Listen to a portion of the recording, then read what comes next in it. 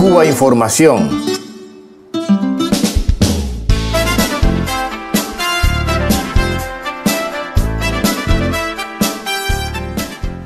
Barack Obama festejaba la restauración de relaciones diplomáticas con Cuba con un nuevo mensaje de apoyo a un futuro democrático y a una mejora en la situación de derechos humanos en la isla.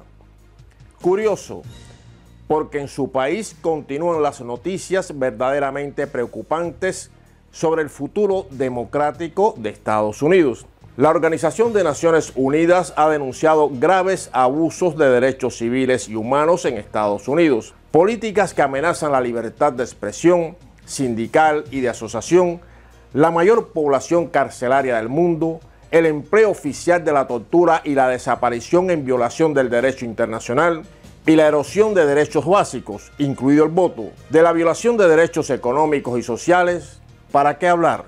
Por ello, siguiendo el patrón al uso, quizás sea hora de solicitar el apoyo e intervención de otros países para promover una transición democrática pacífica en Estados Unidos. El guion para expresar tal mensaje de apoyo ya existe y dice, entre muchas otras cosas, lo siguiente. Nuestro objetivo es dar poder al pueblo de Estados Unidos para construir un país abierto y democrático, porque ningún estadounidense debería enfrentar hostigamiento, arresto o golpizas solo por ejercer un derecho universal de hacer que su voz sea escuchada. En realidad, el original del texto que acabamos de leer es del propio presidente Barack Obama, aunque en él hemos sustituido la palabra Cuba por Estados Unidos.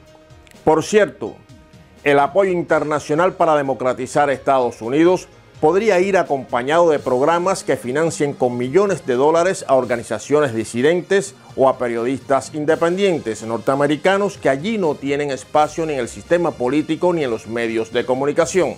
¿Les suena de algo?